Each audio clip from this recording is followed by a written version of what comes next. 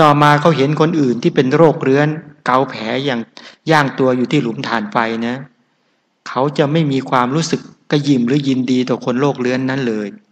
ที่จะย่างตนเองในหลุมฐานไฟนั้น ข้อนี้ชั้นใด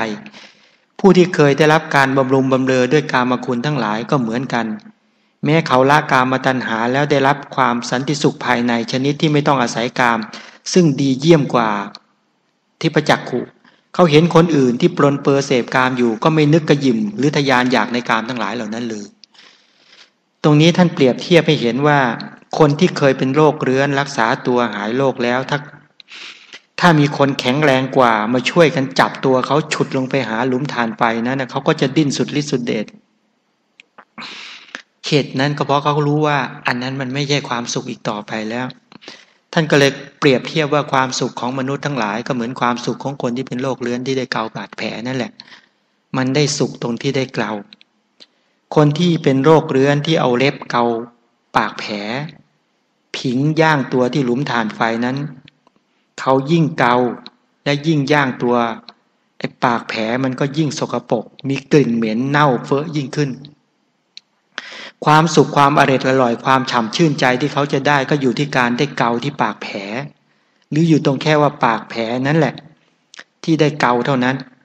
ถ้าเขาไม่หายจากอาการคันตราบใด การที่จะให้เขารู้จักความสุขอื่นที่ยิ่งกว่านั้นน่ยย่อมไม่อาจจะทำได้ ก็เขายังคันนัวเนียอยู่จะให้เขารู้จักความสุขชนิดที่ไม่ต้องเกาได้อย่างไร ฉะนั้นเขาก็ยังต้องอาศัย ความสุขที่ยังเกาอยู่ เมื่อใดเขาหายโรค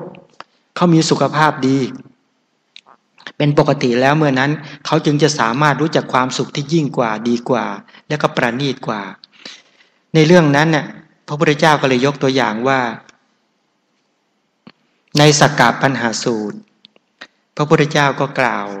พูดถึงเท้าสกกะตอนนั้นเท้าสกกะยังเป็นบุรุชนอยู่ พุทธเจ้าก็บอกว่าเท้าสกกะเนี่ยมีนางสนมสามโกดครึ่ง ก็คือสามสิบห้าล้าน พระพุทธเจ้าก็บอกว่าเท้าสกกะนี่มีเตา มีเตาเนี่ยเตาไฟเอาไว้อัง เอาไว้ผิงเนี่ยสามสิบห้าล้านเตา ก็คือเปรียบเทียบว่าเท้าสกกะนั้นเป็นเป็นโรคเลื้อน มีแผลมีหนองไหลอยู่ตลอด ฉะนั้นความสุขของเท้าสกกะก็คือต้องเอาไปผิง เตาเตาไฟนั้น ก็ทำให้แผลมันแห้ง มันเกิดสะเก็ดขึ้นมา ก็ได้เกา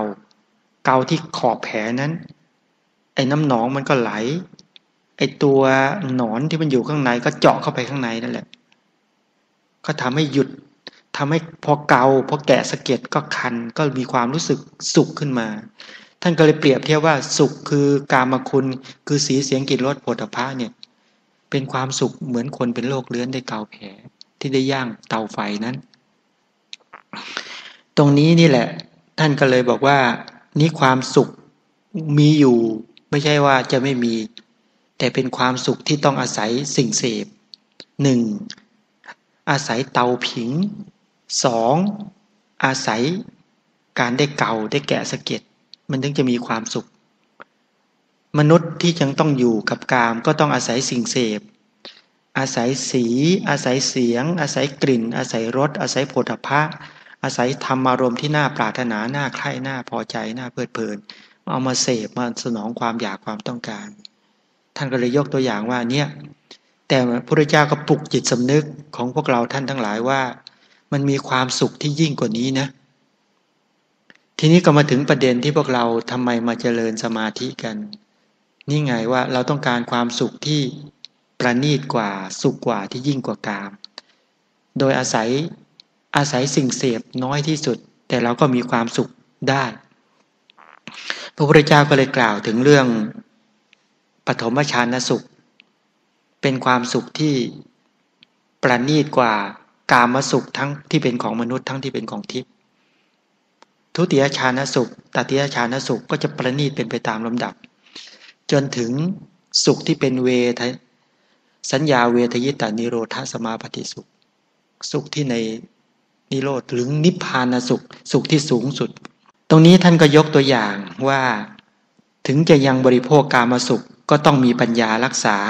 ตนเอง รู้หนทางปลอดภัยจากกรรมจากความทุกข์ของกามให้ได้ ท่านก็มาเตือน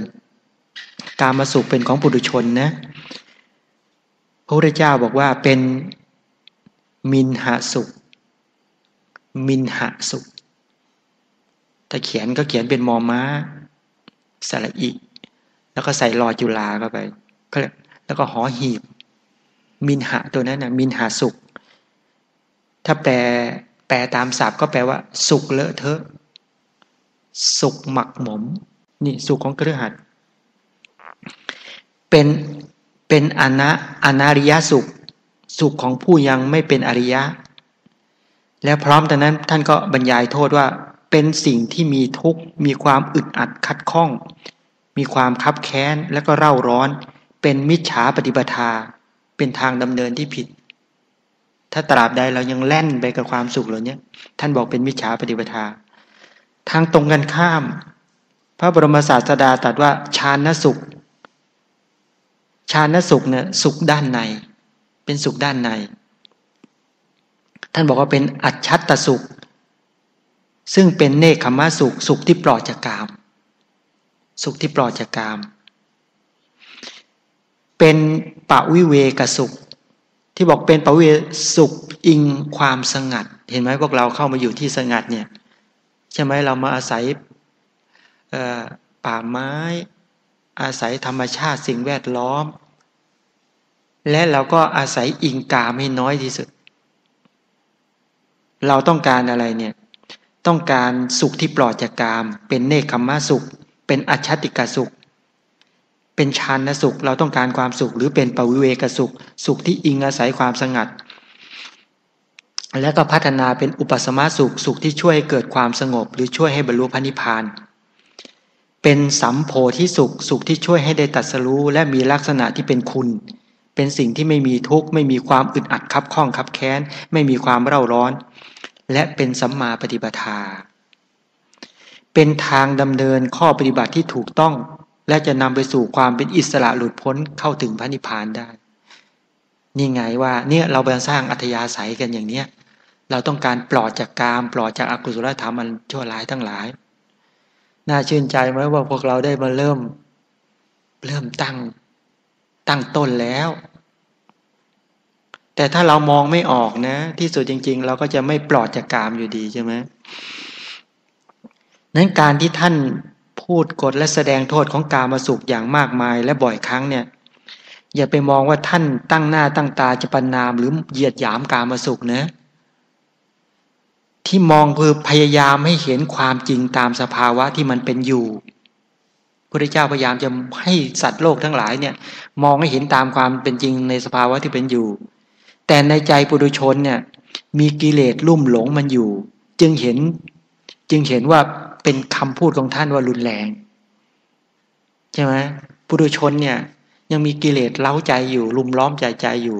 พอฟังคำพูดของพระเจ้าอย่างนี้บอก โอ้รุนแรงเกิน